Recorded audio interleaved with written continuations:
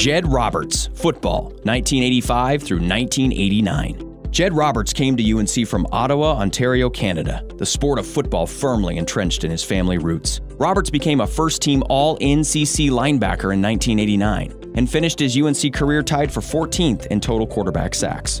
Following his time at UNC, he signed as a free agent with Winnipeg of the CFL, but an injury led to his release and set him on a path of prolonged success with the Edmonton Eskimos, now Elks.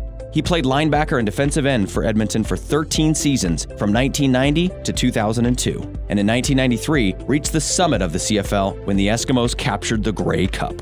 In 1993, he finished with 10 quarterback sacks and 3 fumble recoveries. He found his greatest success on special teams, setting the Edmonton single game record for most special teams tackles in a playoff game with 4 in 1999 and franchise record for most special teams tackles in a game with 5 against the BC Lions in 2000. He still holds the Edmonton franchise record for most special team tackles in a career with 163.